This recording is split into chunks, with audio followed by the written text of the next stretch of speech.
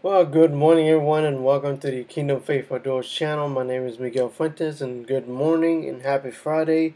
Hope you guys are doing good today. And so, today's uh, Kingdom Talk, we're going to be talking about what is a shofar.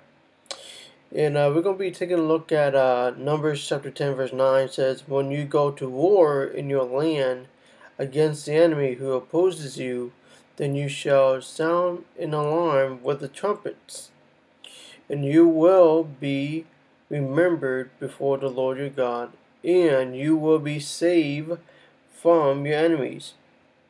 So, what is a shofar, and what is a uh, significance of the shofar? Uh, the shofar is when I'm doing my research. Uh, a shofar is an instrument of spiritual warfare. Uh, made with a ram's horn, and you can look up of what a shofar looks like.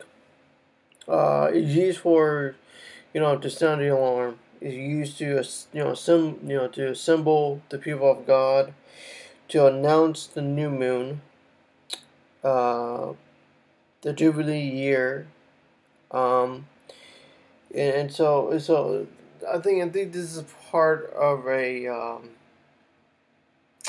I would say one one of the most interesting instruments that God has been using throughout hun- uh, thousands of years, and the shofar has been now been used uh, quite often, and um, and it, you know the, the, the sound of the shofar is, is very very loud, and, and it just uh, it just brings music to God's ears, basically. And um, as, as, as the book of Numbers until uh, we see the word trumpets, which is a shofar that they use.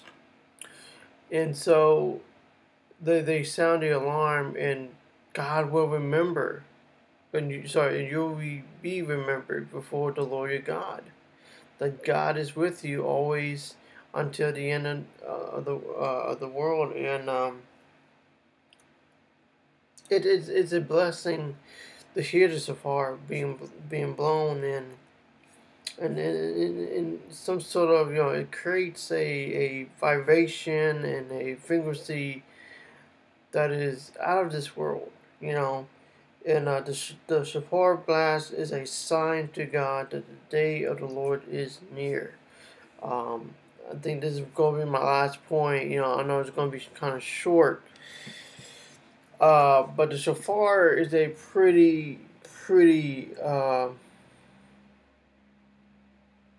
uh, it's a pretty powerful one. Uh, let me see here.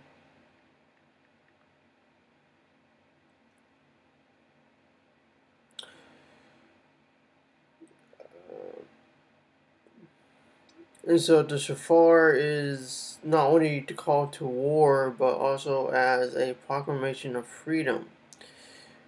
Um, basically, basically this is like a, uh, a wake-up call, uh, stirring the Jews to mend their ways and repent. Sleepers waking up from their slumber, you know, all these things.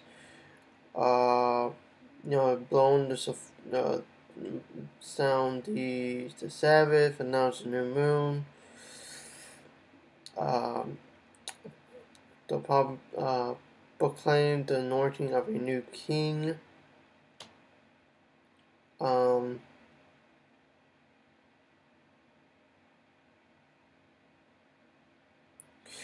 And uh, and also, whenever we hear the shofar, we, we remind us to rededicate our, ourselves to the Word of God and to remind God of our um, original commission and, and, and security.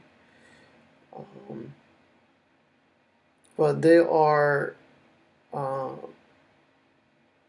a lot of powerful, powerful revelations when we study the shofar and, and how it used and, and all that. So, I mean, it's, it's been it's been it's been a a, a amazing uh, study, you know, that that I've been doing, and um, yeah, so the shofar is there's a instrument that God uses for His people, and um, yeah, so that's all I got for today, folks. I hope you enjoyed uh, short video.